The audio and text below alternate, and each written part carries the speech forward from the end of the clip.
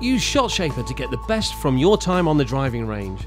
It's fun and simple to use, and you will soon see the benefits of recreating those shots you experience on the golf course.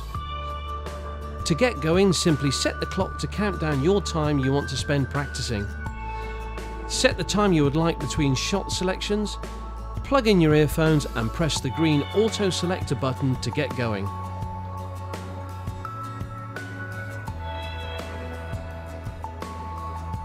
You can also adjust the metronome tempo or silence it altogether. Enjoy your time on the range with PGA Swing Guru's ShotShaper.